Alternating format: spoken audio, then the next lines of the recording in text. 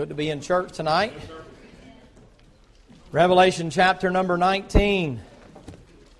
Brother Bert, I need to ask you one favor. Make sure that Miss uh, Lisa got that, and if not, then um, be glad to sit down with her and go further with that.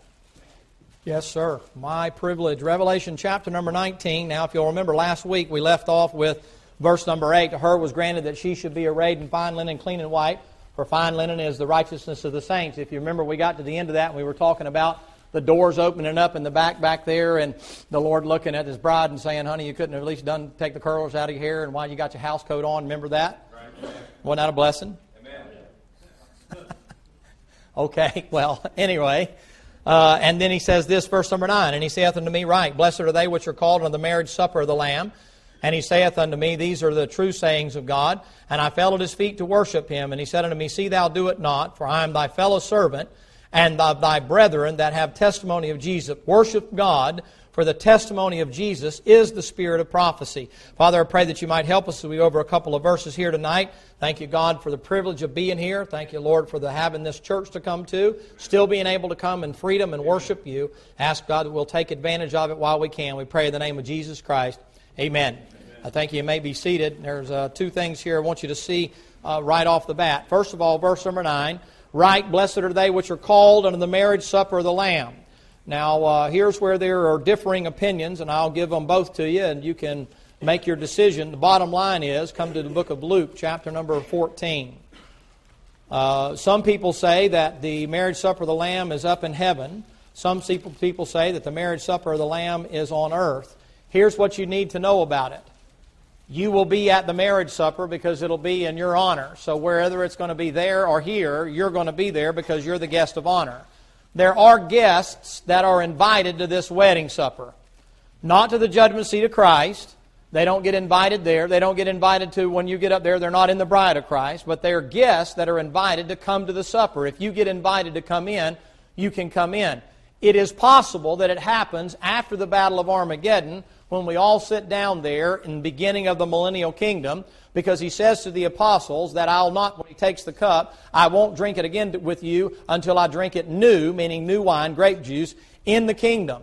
Now, that could be a separate event, or that could be the marriage supper of the Lamb.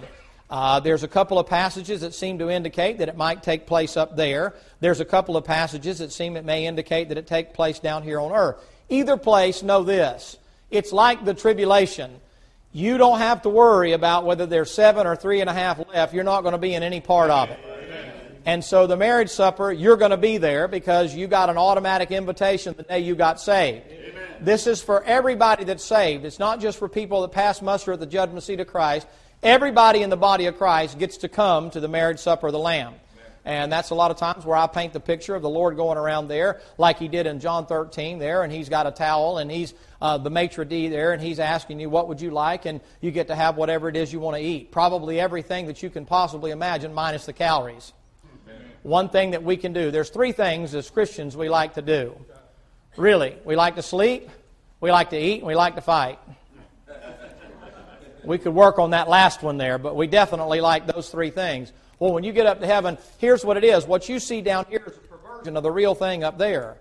So when you're talking about a marriage supper, there's nothing like when we have a wedding or something around here, they have a big reception and they doll it all up and they fix it all up. That's a biblical thing that takes place. You go to the reception after the bride and groom are married. They want all their friends, they want all their family to have a sit down with them and to enjoy fellowship around food.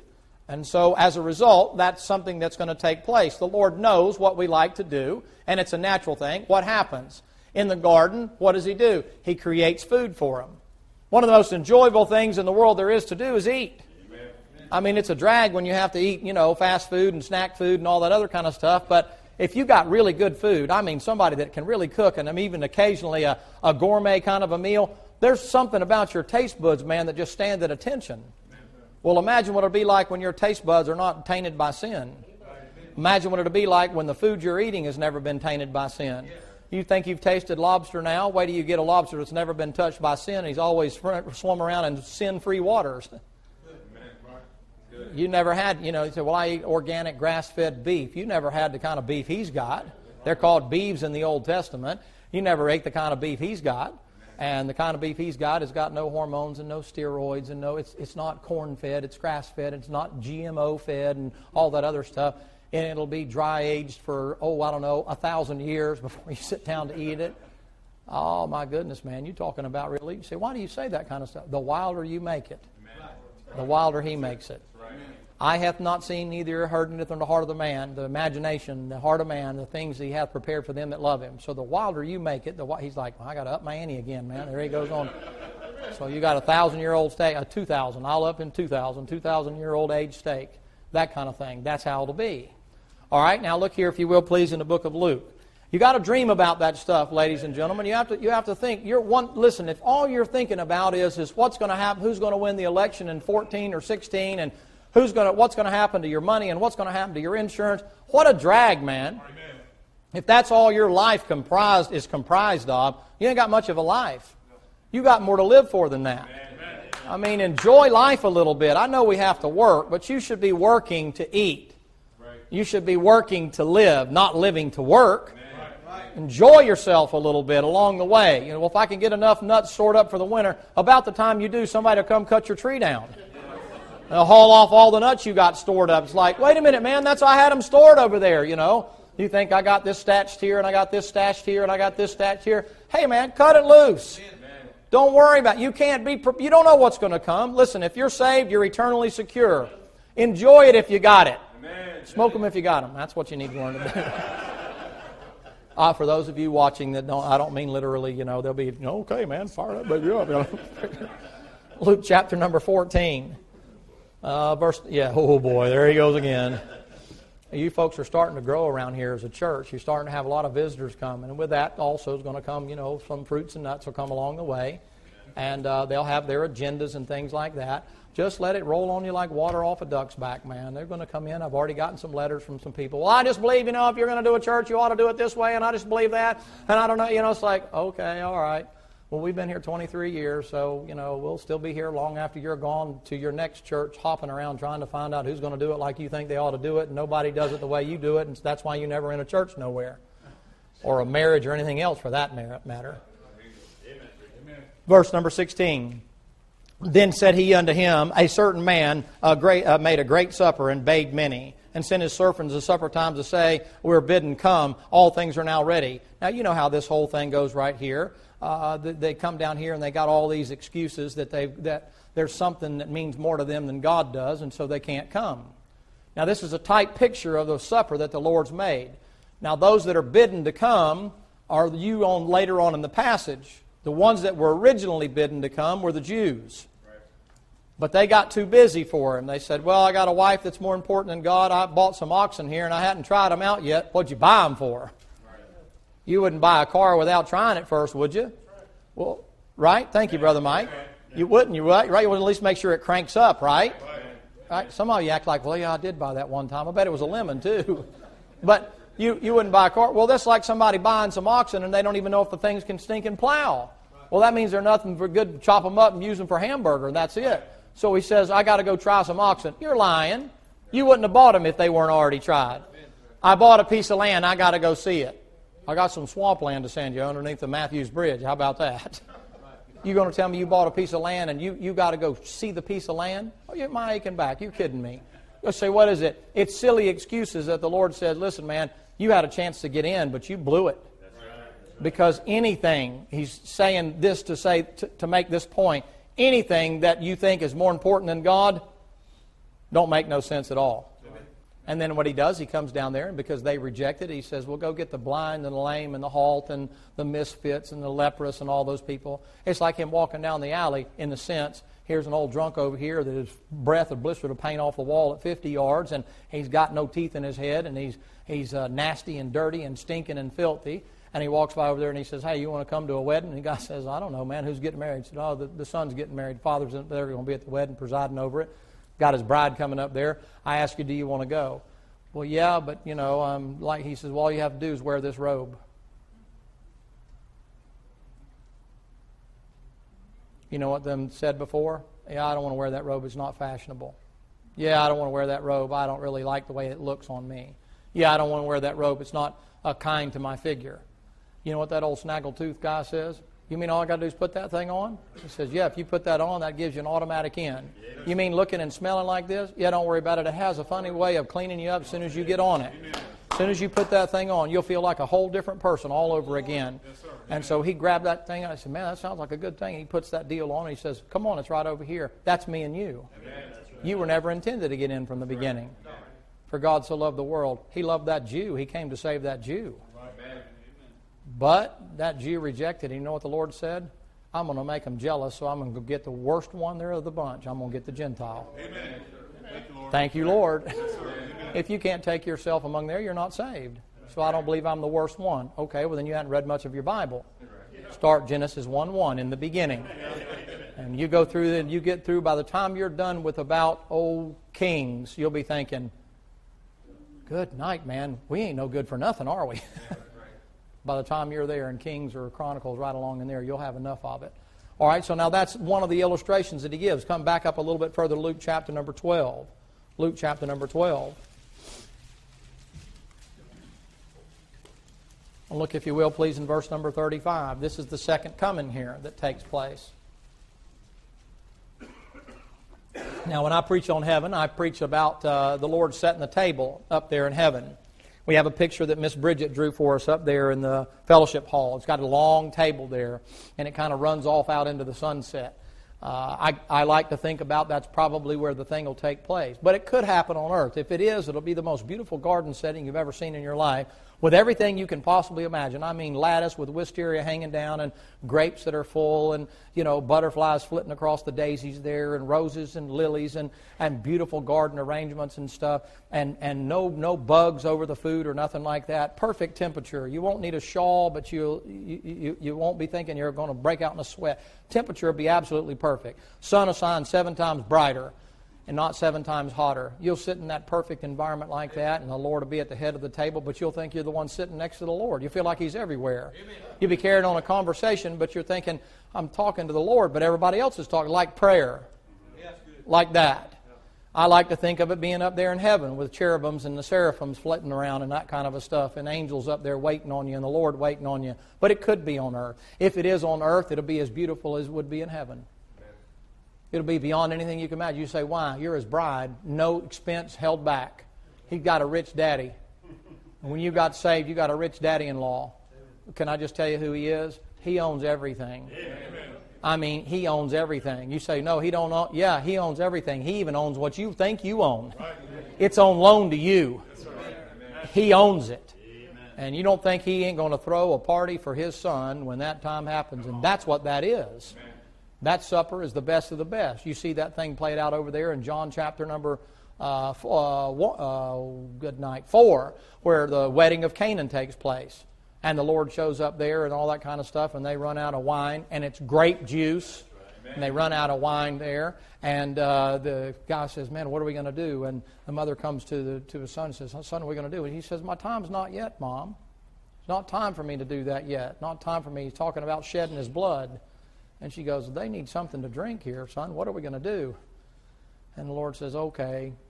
He looks over there at the vessels of water right there, and like that, turns them to the best grape juice you ever had that came right out of the Garden of Eden. You say, How do you know where they came from? How do you know they didn't? you don't know where they came from.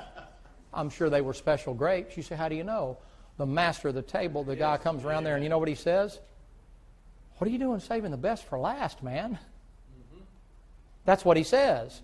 Because the custom was you come early. Boy, Baptists will be in trouble there.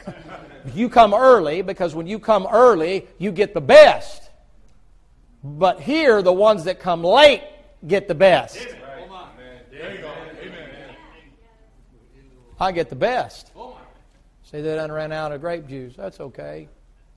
Uh, what are we going to do about that? I got some special grapes, man. They've been seasoning back there for a while, but they never hardened off. Anybody know what I'm talking about when I say hard apple cider? Anybody know? One or two? Okay. That's what they used to have in the mountains. When it hardens, what they do is let it sit up, and just before it turns to vinegar, it's got a kick to it. Some of y'all must have, oh, well, now, preacher, don't tell me that that's alcohol, man. You're going to ruin my, my, my Christmas and my Thanksgiving. You know, put it in a little apple cider vinegar and burn off the liquor. Yeah, okay, tell me about it. Nothing like good apple cider, but when it hardens off, it turns to liquor.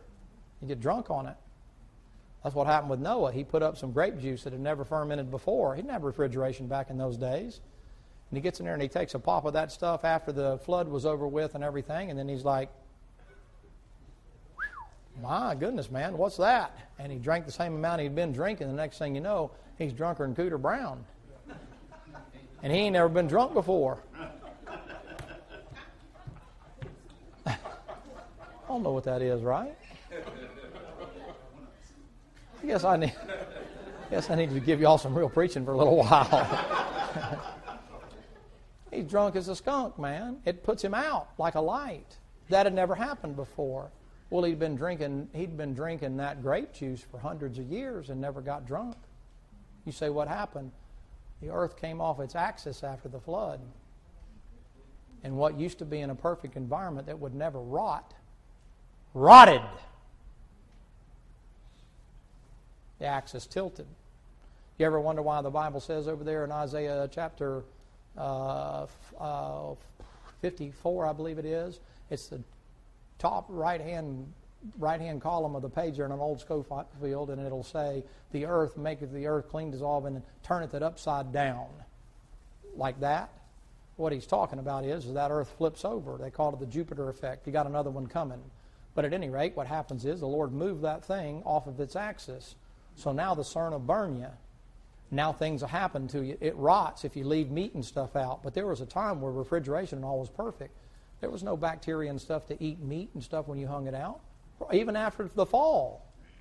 But then Noah comes up there and he squeezes them grapes into that cup after that flood, and all of a sudden, uh oh, this stuff's hardened off now. That's what happened. So, getting back to the wedding supper, you have to imagine in your mind for just a minute if that was uh, your son and you'd been waiting for uh, since the beginning of creation to have a special day for him. I say since the beginning of creation. I'm not talking about since Adam. I'm talking about since the beginning. Amen. And you've been waiting that long to throw him a party? Don't you think that's going to be some kind of supper? Amen. I mean, there'll be food there you never even heard of. There was food back in the garden you never got to taste. You say, what? After the fall is gone, after the flood's gone. There'll be food there you've never even known about. Won't that be something? You say, what do I get to do? Eat it and never gain a pound. Pure energy. Luke chapter number 12, verse number 35. This has to do with the second coming of Christ now. Let your loins be girded about and your lights be burning. Matches with the virgins over there in the book of Matthew. And ye yourselves like unto men that wait for their Lord when he will return from the wedding. Return from the wedding. So this is the second coming. This is not the rapture. A lot of people read it into the rapture that when he cometh and knocketh, he may open unto him immediately. They open. Why? Because he's coming to them. That's the second coming. Blessed are those servants whom the Lord, when he cometh, shall find watching. Verily I say unto you, that he shall gird himself and make them to sit down to meat, and will come forth and serve them. So they're going to eat, not to marry, and it looks like at the second advent that the Lord says, if you're faithful for when I come back at the second coming, you'll be one of those guests that comes in at the marriage supper and you get to sit down with me at the marriage supper of the Lamb. That's what it looks like. Now, you can't say for sure. Um, now, uh, come on back over, if you will, please, to Revelation chapter number 19. Now, I can't give you that for absolute positive. It could be that it's two separate events, that the Lord winds up having a feast after the city of Jerusalem is raised back up where it's supposed to be. That's a good possibility.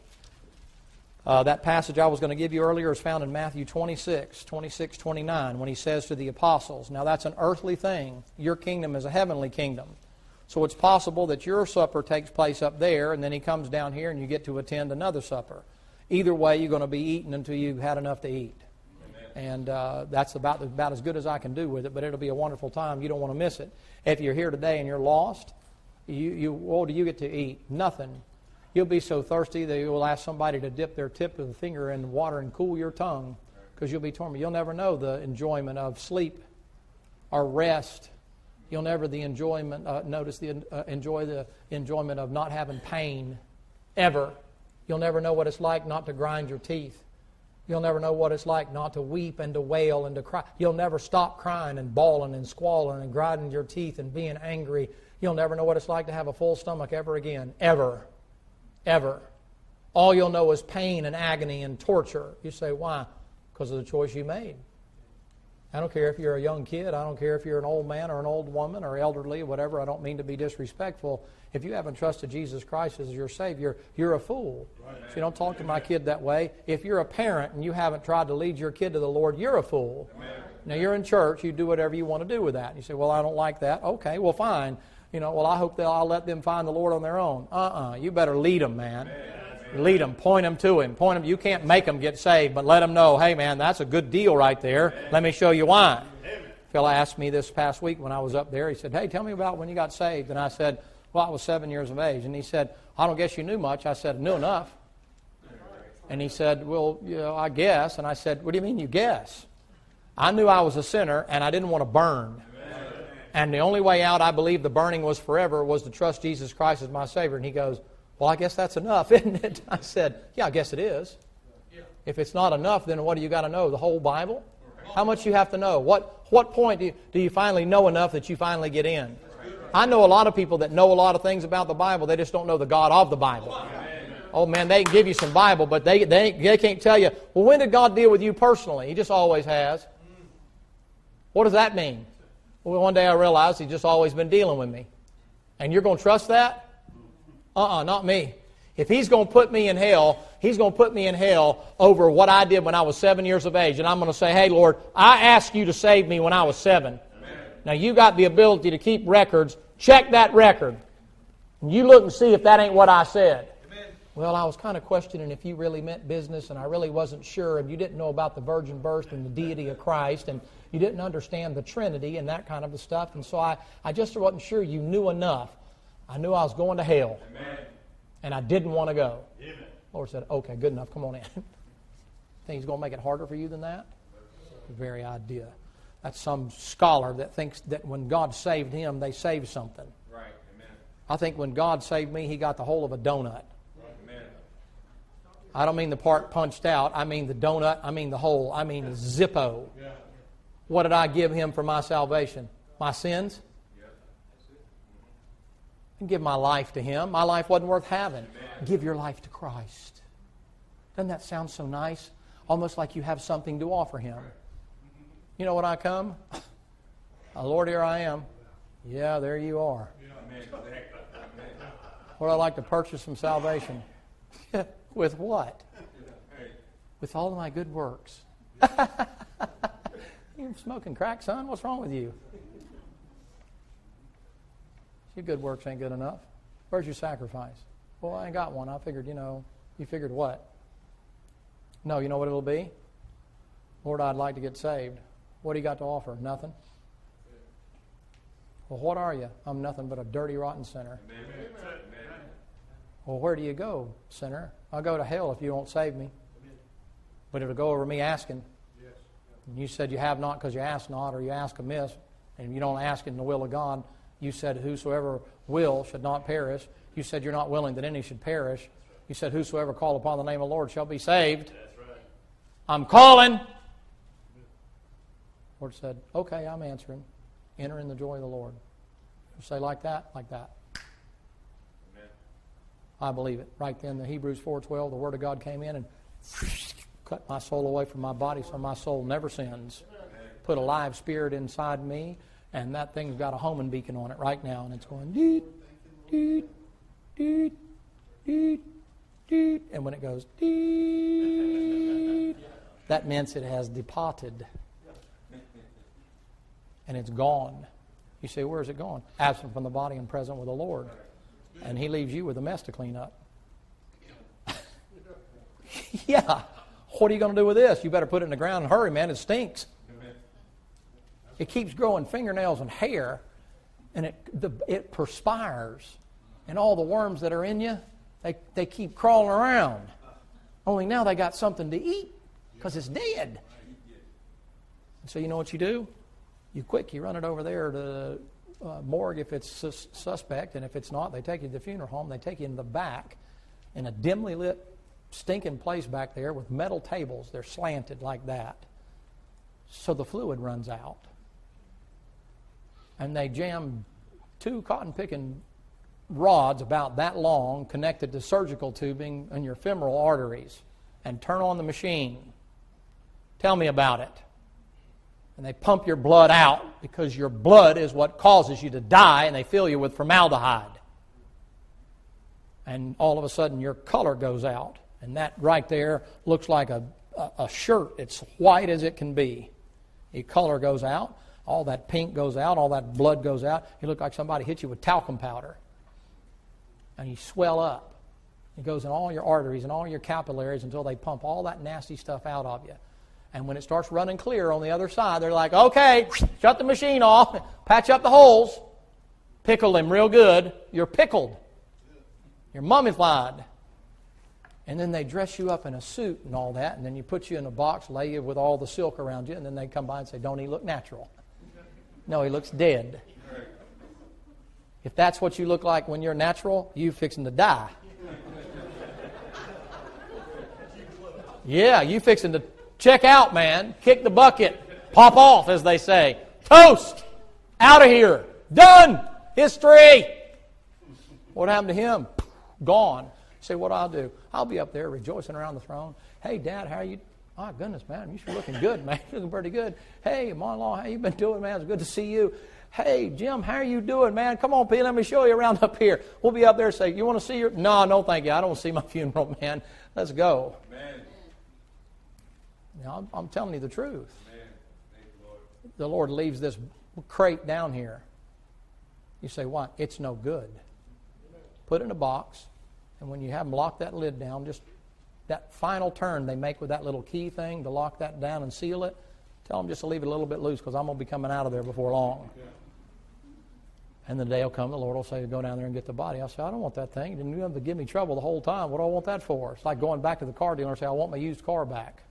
I said, No, thank you. It's a rolling pile of junk. I don't want it. The Lord said, No, you ain't seen what I'm going to do with it. I'm going to give you a body like Adam had in the first creation, like mine. Well, Lord, that first one didn't work out too good. That's because you were made in Adam's image, son. Now you're going to be made in my image. Oh, my goodness. So, Lord, I want to try that thing out. Lord said, You think Elijah could run? Wait till you see what I can do with you. You're going to fly, boy. Yeah, heaven may be a lot of things that you can see, but imagine a mind that never sins, and eyes that can see forever, and ears that can hear the slightest little bit of a pin drop. Imagine having a perfect system and a body that never tears down or breaks down, that has supernatural abilities. Superman ain't got nothing on you. Amen. That's the real stuff. And you're going to sit down in a real body and eat real food. So, well, uh, Mr. Camping says that this is all spiritual. Mr. Camping, PhD in all, is a nut. and maybe he is saved. I don't know if he knows for sure because he just always has been. Thing, kind of. But if he is, let us take our next caller, please. I don't know that he is. A couple more minutes. I didn't mean to get carried away. I just I like being home. I like talking about heaven. There's so much of that other place going on around here. I get wore out with it. Verse number 10, the Bible says, And I fell at his feet to worship him, and he said unto me, See thou do it not, I am thy fellow servant, and of the brethren thy brethren that have the testimony of Jesus. Worship God, he says. Now this is most likely Daniel. I won't say that for sure, but it's most likely Daniel. Uh, look, if you will, please, over in Revelation chapter 22. Daniel got in trouble over there in Daniel when uh, the king bowed down to worship him in Daniel chapter number 2. Remember that? Amen. And the Lord said, Hey, Dan, what you doing there, big boy? Ain't I'm the one that gave you the interpretation of that stuff? Yeah, well, Lord, they were just showing their appreciation. Showing appreciation is one thing, Daniel. Worship is something entirely different. The Bible tells you in Colossians chapter number 2, we'll get there in just a minute, you don't worship angels or anything above God. Amen. Nothing. Preacher, pastor, teacher, mama, Amen. mama, daddy, paw, right. Nana, grandma, grandpa. You don't worship nobody above God. Amen. Specific orders, even animals. You get in trouble for doing that. You know what Dan says? John says, Man, I saw him, I fell at his feet and worshiped. And he's like, Whoa, whoa, whoa, whoa, whoa, whoa, worship God. Don't be bowing down to me. That's what Daniel tells him. Look here in, in Revelation chapter number 22, if you will, please. Look down in verse number oh, uh, 8, 22 8. And I, John, saw these things and heard them, and when I had heard and seen, I fell down to worship before the feet of the angel which showed me these things. Isn't that strange? Angel, but he looks like a man. Now, I ain't got time to run all the verses on it, but in the Bible, wherever an angel shows up, he shows up and he looks like a man. The Bible, he ain't got wings on him, and he ain't smoking a cotton picking cigarette either. You like to be that John Travolta fella?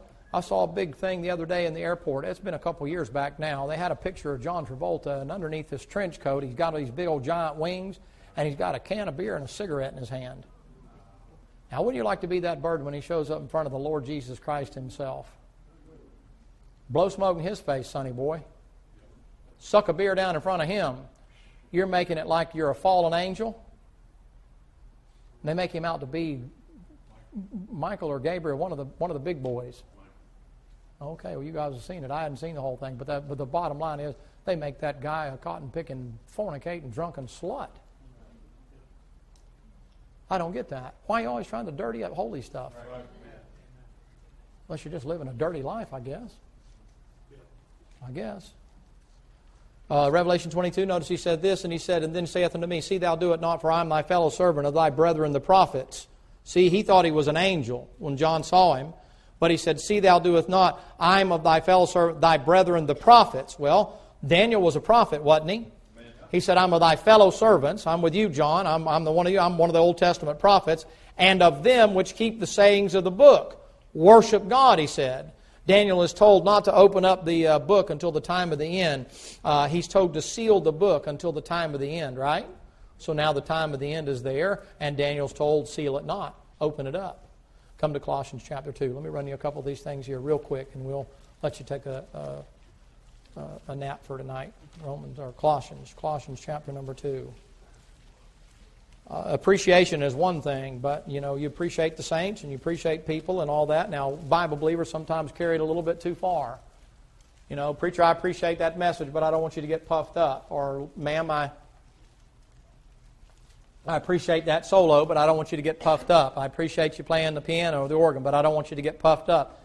Appreciate you working in the nursery, but I don't want you to get puffed up. You need to understand something. If they get puffed up, that's their problem. It's your job to exhort them and encourage them. Tell your Sunday school teachers every now and then you appreciate them. Tell your wife, gentlemen, when you get home tonight, thank you, honey, for washing up for me and cleaning up for me and putting up with me. And tell her every now and then you appreciate her. You make surprised how much different things will be. Thank you, honey. I appreciate you, baby. I just want you to know I appreciate you. Is that the bird? Hey, bird. But l- listen, you, you try that. It makes a difference. Don't get so carried away with trying to be so spiritual and then when somebody says, Mrs. Smith, that was a wonderful song. I really got a blessing out of that. Oh, well, now thank God and praise God and hallelujah and glory to God. And, you know, God. no, just say thank you. Appreciate that. Amen. I just heard that this week. A guy got up and he, man, I mean, whew, good night, boy. I mean, he rattled the rafters when he got up to sing. Sound like Roger singing. Man, I mean, he really sang. I came by after he was done and I said, man, Lord really gave you a set of pipes, man. That was a real blessing. Hallelujah. And he said, well, thank God, you know, I just really praise the Lord. And I said, I said, hey, brother, next time somebody does that, just tell them thank you.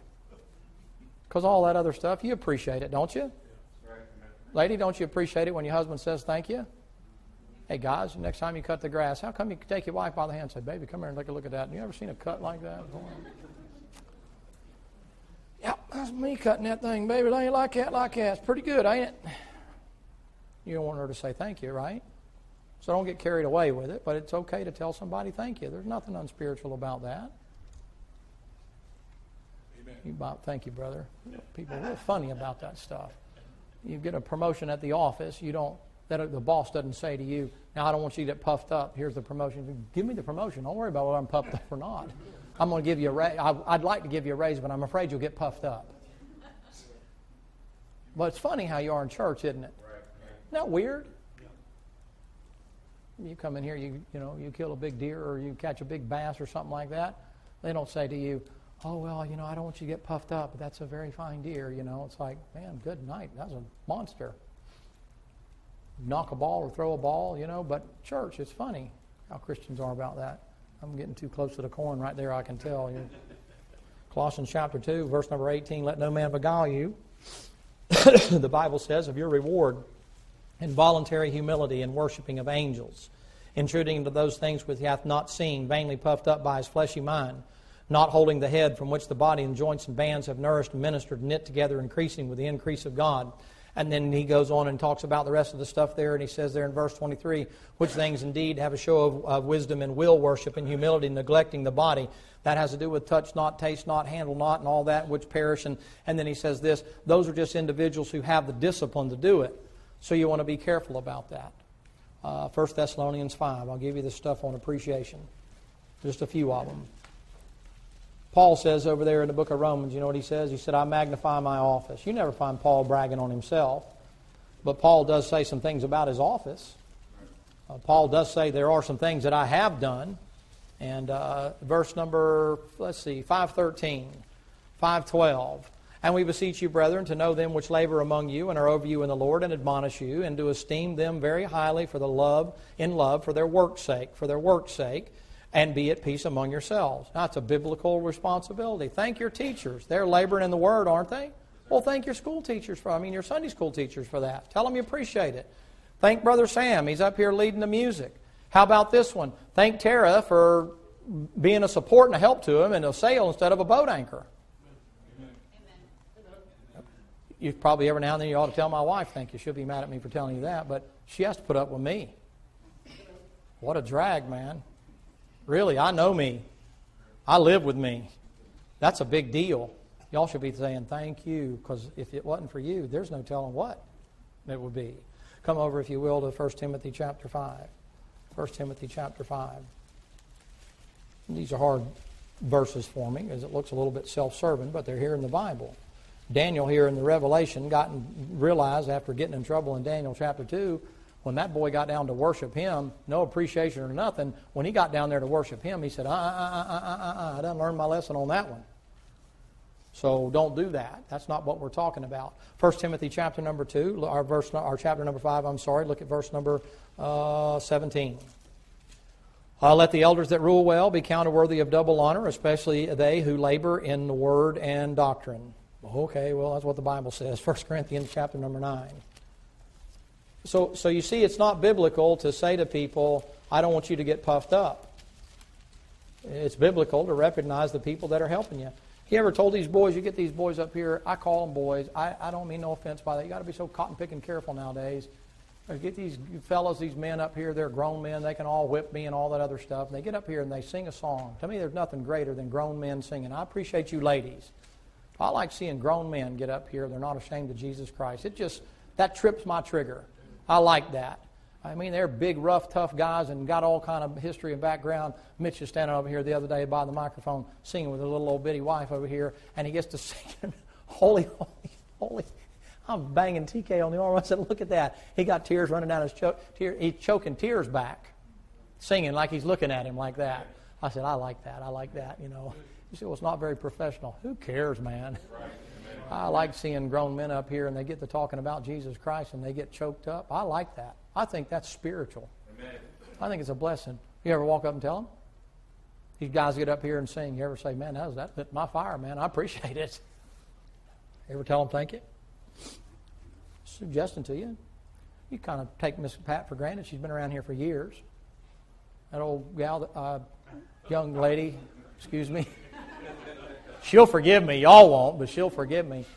She's at the nursing home every Tuesday for years now, playing the piano. She don't miss. Some of us miss and go and that kind of stuff. I hadn't been there very much and that kind of. She's still there. Plays the piano. She plays for you. Anybody in here, Miss Pat's worked with you on a solo or something? Raise your hand. Oh, yeah, just a few of you. Yeah. How about that? She's available to help you kids out and that kind of a deal. And she's up here. You imagine what it'd be like to have that organ that's a high dollar piece of machinery there. We had that organ, didn't have somebody to play it. Brother Gary's over here a while ago playing the piano. It was pretty. It was really pretty. But, buddy, when that organ kicked in and gave it that bottom, man, you ever say, hey, Miss Pat, I appreciate it? Or you just expect it? In everything, give thanks. How about not only telling her, but say, Lord, thank you, appreciate it. I can remember the day we didn't have somebody to play a piano or an organ. We didn't even have somebody to play a pitch pipe. Wasn't, all shall we gather at the... In those days, we sang by letter. We just open up and let her fly.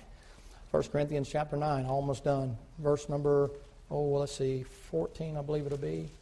That's it, 914. The Bible says this. Uh, 13. Do you not know they which minister about holy things live of the things which are the temple, and they which wait at the altar are partakers of the altar?